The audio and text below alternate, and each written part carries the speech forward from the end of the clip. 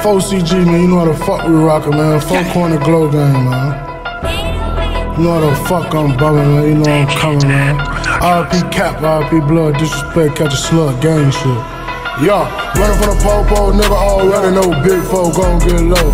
I got a tool on me, it's a two, two, three, nigga run up on me, I'ma Yeah, so we to be broke before, but we ain't gon' never be broke again. But a nigga know what it feel like to do that. All right, so we're back into it. Like, comment, subscribe, and share.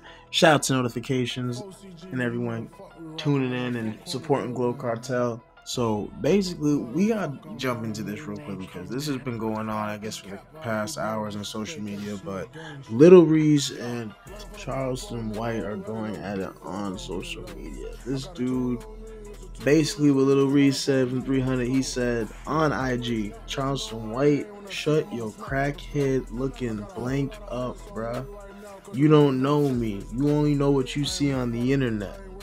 And you saw the you see the end. So I mean basically he's responding to basically what Charles Charleston White or whatever he said in an interview, and I'm not sure which interview it was on, but basically Lil Reese feels some type of way. So the Grim Reaper's back after being shot, jumped, almost died. I don't know how many times, but he just, you know, he, he's still alive.